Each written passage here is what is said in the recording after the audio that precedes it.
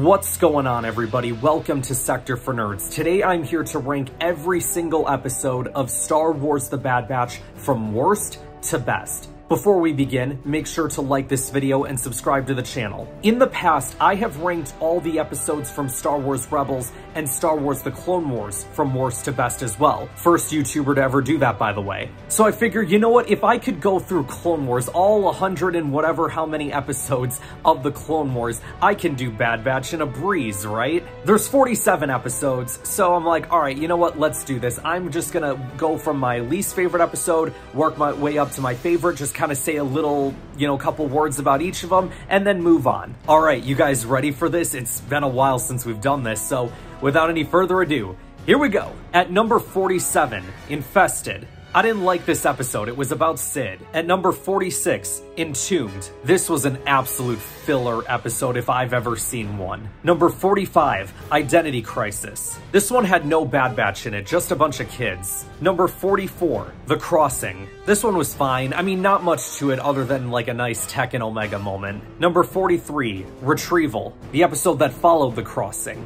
Not much better. At number 42, Kamino Lost, a season finale that in my opinion wasn't that great. At number 41, Confined, the premiere episode of season 3. It was just about Omega being locked up in a cell. Number 40, Paths Unknown, the episode where Wrecker and Hunter go searching for Omega. Number 39, Bad Territory, the not so great Fennec Shand episode. I genuinely spent the last minute and a half looking up what this episode was because I completely forgot it. Number 38, Faster. This was a Tech episode, but also a Cid episode. But it does foreshadow that Cid is going to turn on them. Number 37 and number 36, Spoils of War and Ruins of War. I mean, this was like the two-part opening to season two, it kind of just made sense to put these two together. It's about the Bad Batch going to steal Dooku's war chest and then it all going wrong. Decent episodes. Speaking of decent episodes, at number 35, Juggernaut. This was a short, sweet, and to-the-point episode, and it was all about a Juggernaut. Number 34, Flash Strike.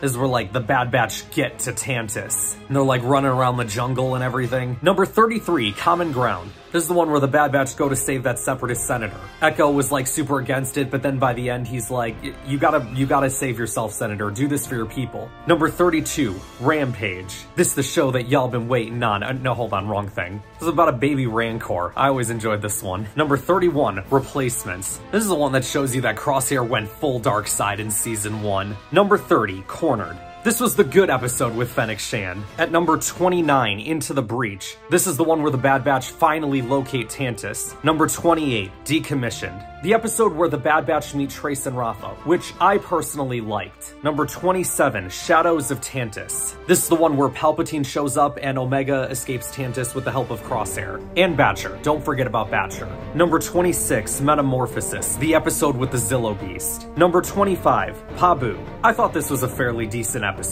Think I liked it more than a lot of other people did, judging by the reactions of the episode at the time. Number 24, Cut and Run. The episode with Cut Lawquane. Number 23, A Different Approach. This is the episode where Omega and Crosshair end up getting away from the Empire and they reunite with Hunter and Wrecker. Number 22, The Return. The episode that took place after this where it felt like Hunter and Crosshair were finally able to get back on good terms. Number 21, Point of No Return. The episode where the Empire invades Pabu and Omega gets captured. Again. But it was a good episode. Number 20, Infiltration. This is where we start to see like Rex's clone rebellion finally like starting to get itself into shape. Well, until that one clone assassin comes in and kind of ruins it. Number 19, Tipping Point. The episode where Crosshair, he doesn't escape Tantiss, but he's able to send a message out to the Bad Batch to warn them of what's going on. There's also a nice moment between Echo and Omega because Echo had gone away from the Bad Batch at the time, so seeing them reunite was pretty cool. Omega being able to fly and learn the tech turn, all good stuff. Number 18, The Summit. The episode where we see Bad Batch invade this Imperial meeting that's going on between Tarkin, Krennic, and a bunch of other Imperials. Saw Gerrera was there too and he ruined everything. Number 17, The Reunion. The episode where the Bad Batch go up against Crosshair and then at the very end, Cad Bane shows up of all people. It had been so long since we'd seen him. Number 16, Bounty Lost. The episode that was about Cad Bane going up against Fennec Shand. Such a good one. At 15, Devil's Deal. One of the first episodes of the Bad Batch that really had nothing to do with the Bad Batch, but it was so enjoyable because it was about Ryloth Hoth, Cham Syndulla, Hera, we got to see Little Hera and Chopper. It was great fun. And then episode 14, Rescue on Ryloth, the episode that happened after this, where the Bad Batch end up helping Hera save her parents. Number 13, Return to Kamino. The last time that we ever get to see Bad Batch work as a full team. It literally just dawned on me as I was saying those words just now. At number 12, Plan 99, the episode where Tech dies. Son of a gun.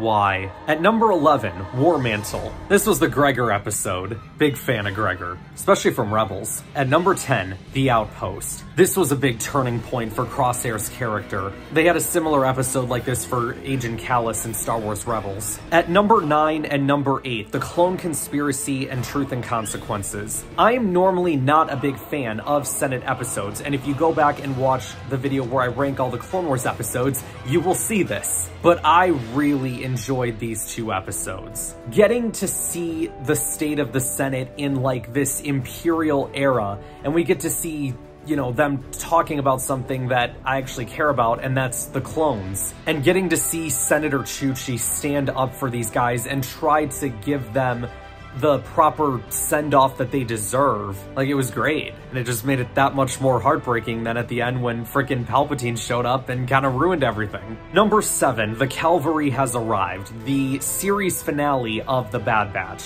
Lived up to expectations, had a good ending, and left you wanting more.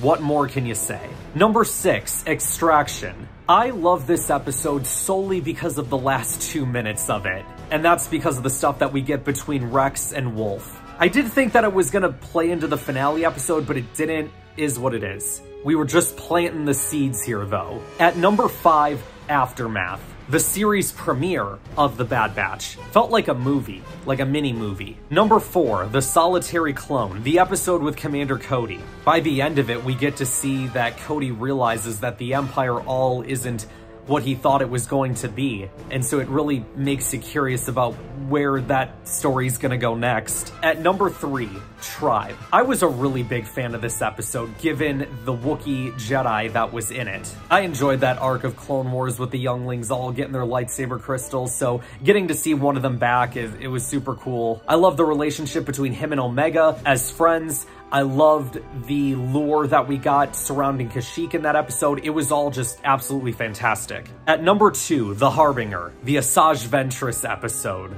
I had a gut feeling that when Ventress showed up that this was going to be a really good episode. Even though they didn't necessarily explain how she survived the events of Dark Disciple, regardless of that, I thought this was a fantastic episode getting to see her teach Omega about the Force, her having one of the best fights in the whole show. What am I talking about? It's the best fight scene in the entire show between her and the three members that are there of the Bad Batch. And at number one, my for my favorite Bad Batch episode, Battle Scars. This is the episode in season one where Wrecker's chip goes off and he becomes like the villain of the episode. I really enjoyed this because this was something that they had been building to throughout the first half of season one, and then we finally got it, and it felt like we were dealing with such a massive threat because of how, like, big and tough and jacked Wrecker is. It was very scary. And then at the end, when they do finally rescue him and he apologizes to Omega and he says, like, I tried to stop myself and it just, oh, the feels. It was also the first episode that we got Captain Rex in the show. So good stuff.